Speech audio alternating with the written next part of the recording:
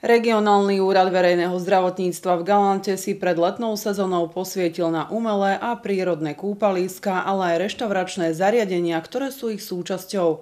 Kontrole neunikli ani zmrzlinárne, no a práve tu našli najväčšie nedostatky.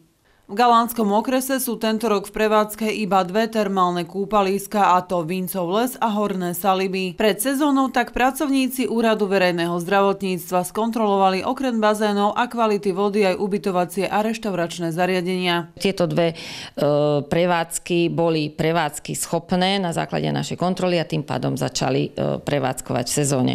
Okrem toho máme nejaké prí, prírodné lokality s neorganizovanou rekreáciou, kde kvalitu vody kontrolujeme kontrolujeme približne dvakrát za sezónu. Jednoznačne uprednostňujem kúpaliska, pretože si myslím, že tá voda by tam mala byť čistejšia, nevždy to tak je, ale mala by byť a je tam aj chlor, takže ja sa dosť bojím takýchto tých prírodných jazier, pretože kto vie, čo tam všetko pláva. Tento rok už stihli skontrolovať prírodné lokality v Tomášikove, Čiernej vode a na kaskádach. Zatiaľ, čo máme predbežné výsledky, tak vzorky vody vyhovujú. Akým si kontrolórom na kúpaliskách by ste mali byť aj vy a vôbec na to nepotrebujete prenosné laboratórium, stačí byť len všímavý. Čo sa týka napríklad bazénovej vody, tak treba si všímať povedzme nejaký zákal alebo nejaké špiny na spodku bazéna. Čo my považujeme za rizikové je e, hladina, vodná hladina bazénovej vody. Niekedy na tom okraji bazénu zvyknú byť e, vyvločkované nejaké nečistoty. Či je voda špinavá, to tiež a ako vyzerajú bazény znútra aj zvonku. Každoročnej kontrole podlieha aj vysokoriziková potravina a to je zmrzlina. Bežné stánky, ktoré sú v prevádzke každý rok, majú zatiaľ veľmi dobré výsledky.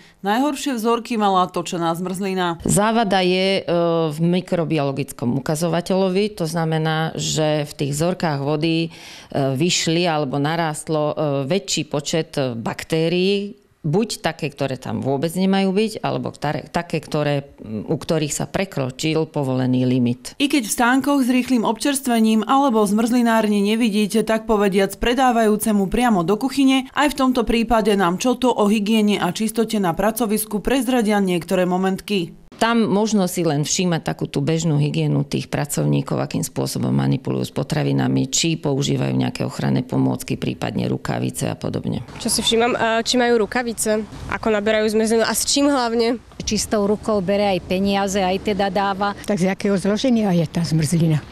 A či je čerstvá? prípade, že je vám v reštauračnej prevádzke alebo na kúpalisku čokoľvek podozrivé, neváhajte a kontaktujte príslušný regionálny úrad. Samozrejme, podnet môžete podať e, u nás, tým pádom naši zamestnanci pôjdu na základe vášho podnetu skontrolovať mimo bežných kontrolných dní e, kvalitu toho, na čo sa budete sťažovať. Pre televíziu kreja Stanislava Janegová.